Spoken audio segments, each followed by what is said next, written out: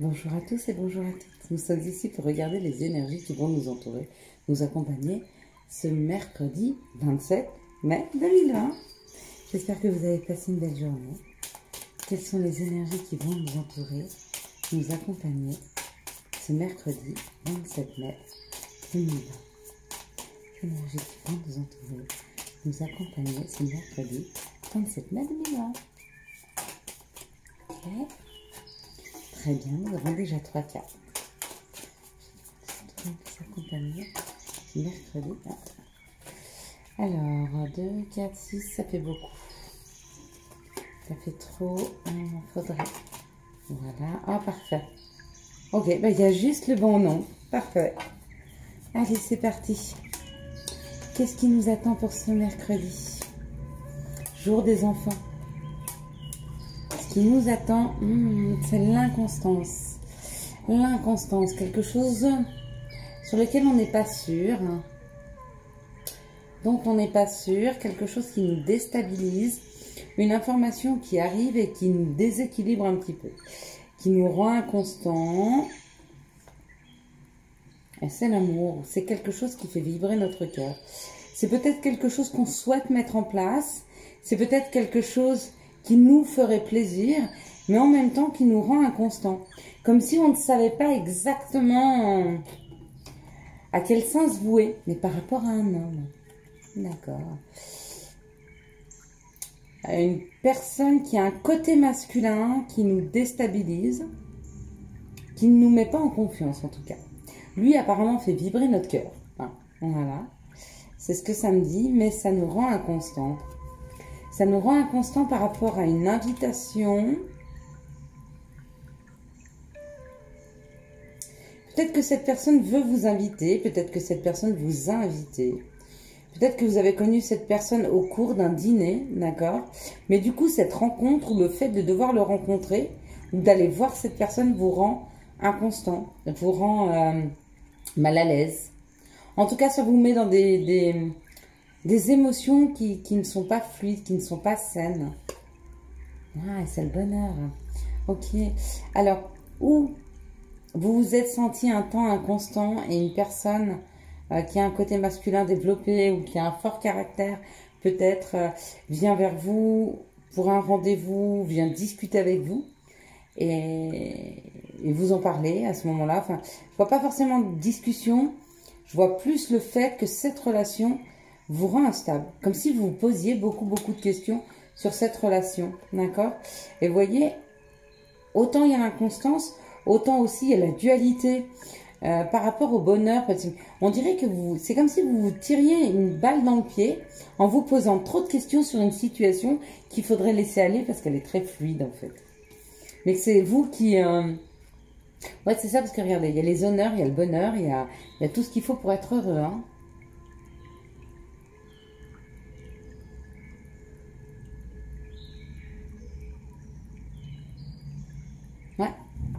Il y a tout ce qu'il faut pour être heureux, mais vous, vous posez trop de questions.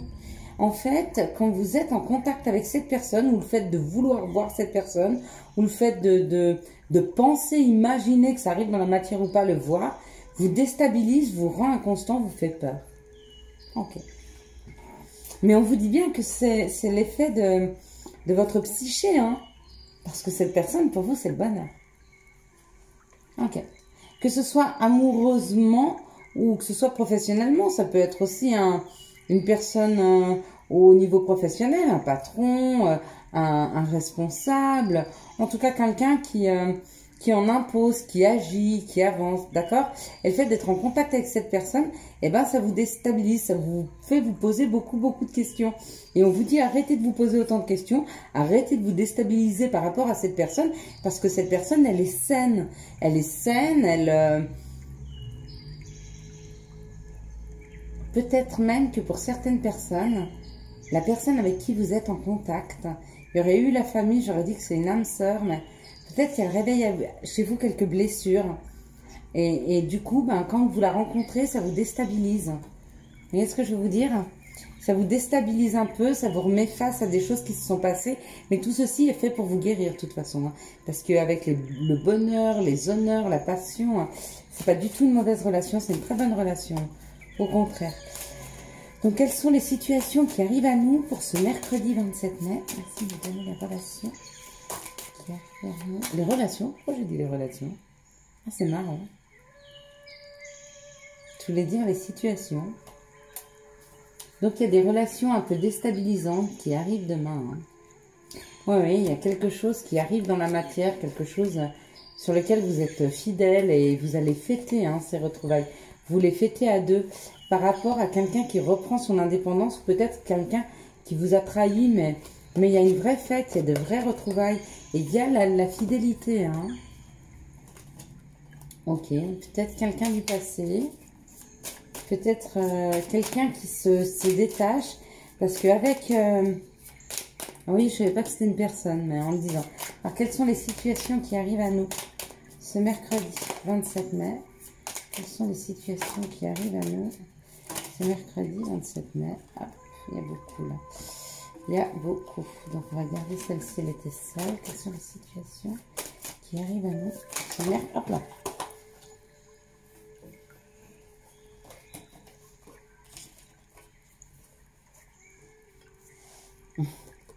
Il y a un mouvement qui arrive.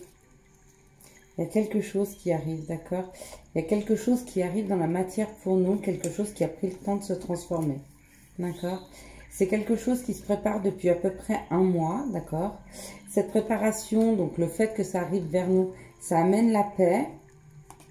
On me dit que ça a été long, mais j'aimerais savoir ce qui arrive vers nous. C'est Est-ce que c'est une personne ou est-ce que c'est un...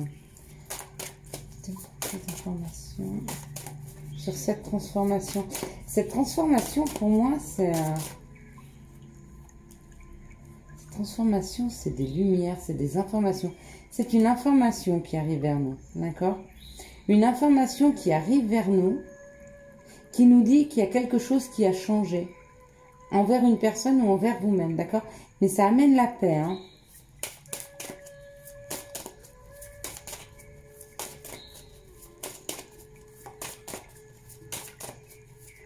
Ouais, c'est ça. Hop là. Oh. Non, mais là, c'est trop, donc euh, c'est pas possible.